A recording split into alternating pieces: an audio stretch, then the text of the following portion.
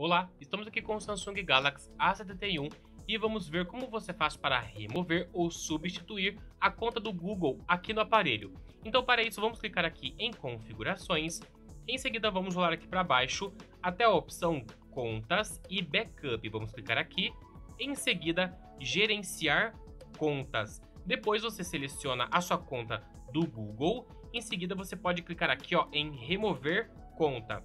Confirme aqui clicando em remover a conta, clique em OK, você coloca a sua digital ou o seu PIN e pronto, a conta já foi removida. Para adicionar uma nova conta, da, no caso da Google, né? Vamos clicar aqui em adicionar conta, você seleciona de novo aqui ó, Google e agora você pode criar uma nova conta, pode inserir a mesma conta ou no caso inserir uma outra conta diferente, tá? Então aqui você pode colocar qualquer conta Google ou no caso você pode criar uma aqui, tá? Então você pode escolher criar uma para o meu filho, para o meu negócio ou para mim. Então é desta forma que você remove a conta do Google e substitui por outra aqui no Samsung Galaxy A71.